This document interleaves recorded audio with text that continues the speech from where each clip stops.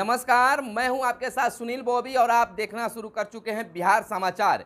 बिहार समाचार में खबरें बिहार की, बातें बिहार की। शिक्षा, रोज़गार और राजनीतिक तक के खबरों के साथ गाँव की सरकार का क्या है हाल? युवाओं की क्या है स्थिति? और युवाओं के लिए क्या है सरकार की ओर से पहल? और आपको बता दें कि सेना में बहाली को लेकर आखिर विरोध क्यों? यानी अग्निपथ पर विरोध क्यों हो रहा है? आपको बता दें कि पंचायत चुनाव के बाद पंचायत प्रतिनिधियों का हाल क्या है? तो आइए अब जानते हैं पूरी खबर को। विस्तार से पहली बात हम लेते हैं शिक्षक नियोजन को लेकर।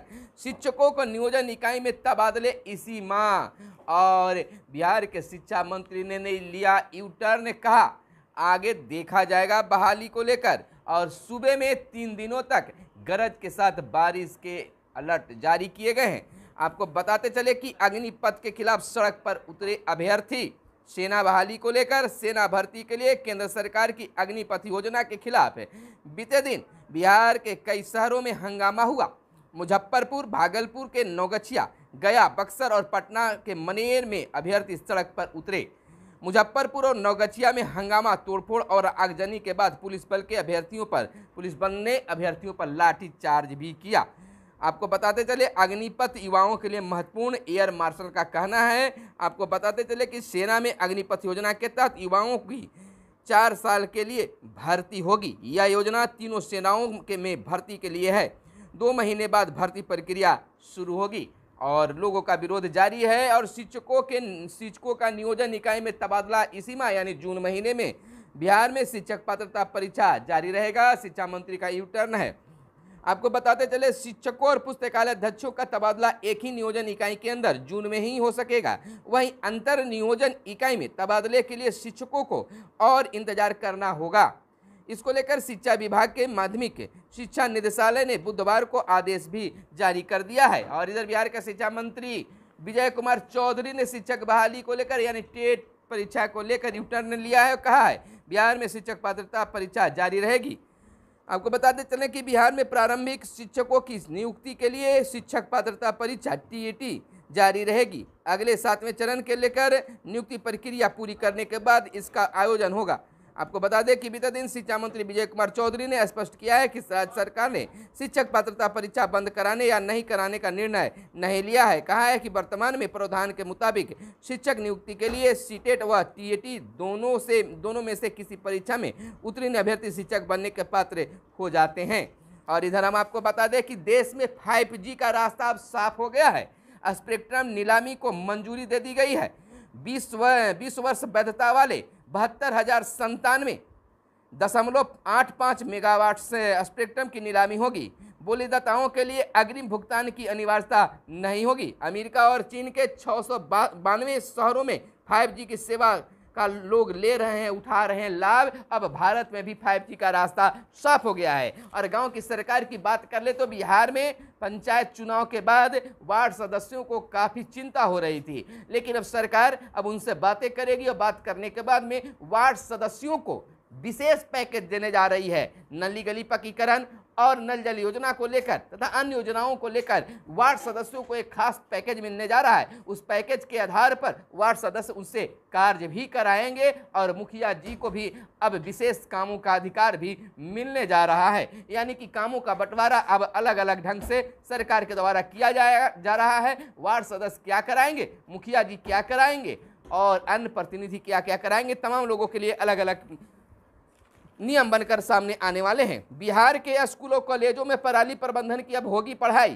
कृषि विश्वविद्यालय व शिक्षा विभाग को दी गई पाठ्यक्रम तैयार करने की जिम्मेवारी पिछले दिनों अंतर विभागीय समूह की बैठक में लिया गया है। खास फैसला, और एक टन पराली जलाने से नुकसान बहुत ज़्यादा होता है, उसके बारे में बताया गया है। गर्व की बात है कि दुनिया की सबसे ऊँची चोटी एवरेस्ट फतह करने निकली बिहार की बेटी मिताली। मिताली अब एवरेस्ट की फतह करेगी चार फुट। नौ इंच की पीयू की छात्रा रह चुकी, मिताली की लंबाई और राजनीतिक शास्त्र से मास्टर्स की डिग्री हासिल कर चुकी है। अधिक तंगी की वजह से पूरा नहीं हो पा रहा था सपना और अब सपना यह पूरा होगा। आपको बताते चले कि पार्टी नीति का विरोध करने वाले पाएँगे सजा, यानी कि ग्रामीण विकास मंत्री श्रवण कुमार ने कहा कि जदयू का शीर्ष नेतृत्व मुख्यमंत्री नीतीश कुमार हैं और उन्हीं के निर्देश पर पार्टी चलती है। कोई भी किसी का भी व्यक्तिगत समर्थक नहीं हो सकता है, पर जो कोई भी पार्टी की नीति, सिद्धांत और कार्यक्रम का विरोध करेगा, उसे भविष्य में भी सजा मिलेगी। और अग्निपथ योजना की राजद ने भी कर दी है आलोचना। अग्निपथ से सेना में आएगा बड़ा बदलाव, भाजपा प्रदेश प्रवक्ता अरविंद कुमार सिंह का कहना है।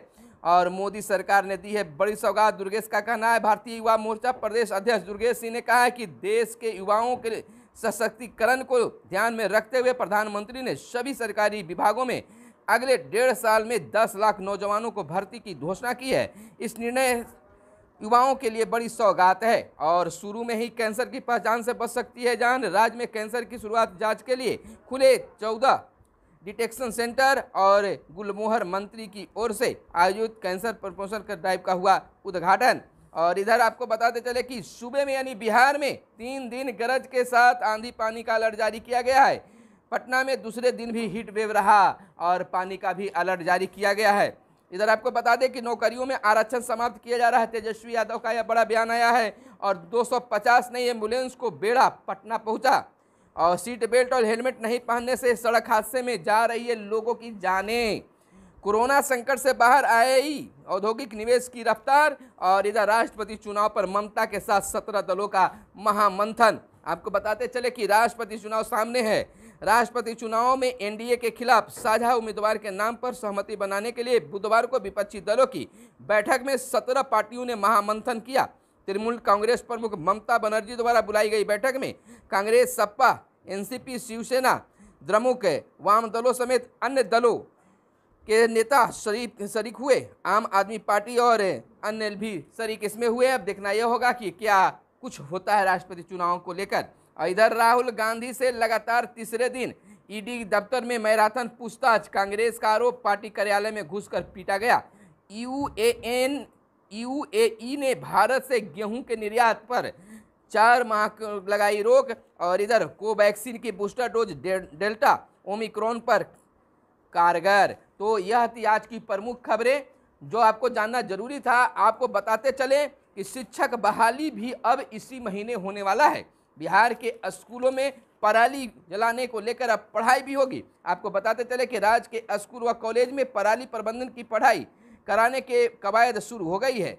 इसके लिए राज्य के, बिहार कृषि विश्वविद्यालय को सिलेबस बनाने की जिम्मेवारी दी गई है। विश्वविद्यालय ने इस पर काम भी करना अब शुरू कर दिया है। स्कूल से लेकर कॉलेज स्तर तक के लिए अलग अलग सिलेबस तैयार किए जा रहे हैं और चार माह में एक महिला का कागज़ पर चौदह बार किया गया बंध्याकरण। आश्चर्य लग रहा होगा। महुआ के तत्कालीन चिकित्सा और अपर मुख्य चिकित्सा पदाधिकारी पर मुकदमा चलाने का आदेश भी जारी कर दिया गया है। जमा, जननी एवं बाल सुरक्षा योजना जिला स्तर पर साढ़े पाँच करोड़ रुपए का गमन में दोषी पाए गए हैं। यह एक बड़ी खबर निकलकर सामने आ रही है कि चार माह में एक ही महिला को चौदह बार किया गया बंध्याकरण। आखिर क्या हो रहा है स्वास्थ्य विभाग में? और इधर तेजस्वी यादव ने युवाओं को लेकर कहा है कि नौकरियों में आरक्षण समाप्त किया जा रहा है। नेता प्रतिपक्ष तेजस्वी यादव ने आरोप लगाया है कि सरकारी नौकरियों में ठेकेदारी प्रथा के तहत आरक्षण को समाप्त किया जा रहा है। इसके संविधान की कहीं कोई बाध्यता नहीं है, इसलिए ठेके की नियुक्तियों में आरक्षण भी लागू नहीं होगा। रेलवे और लेटरल एंट्री में ऐसा ही हो रहा है। अग्निपथ योजना के तहत भाजपा और संघ अपने अनुशांसिक संगठनों के तंग विचारों एवं घृणा से लैस लोगों को सरकारी खर्चे पर ट्रेनिंग दिलाने को आतुर हैं। तो यह थी आज की खास बिहार की खबरें। जो आप तमाम व्यूवर्स को जानना ज़रूरी था। तो फिर मिलते हैं अगले वीडियो में। तब तक के लिए दीजिए इजाज़त। धन्यवाद। जय हिंद, जय भारत। वंदे मातरम।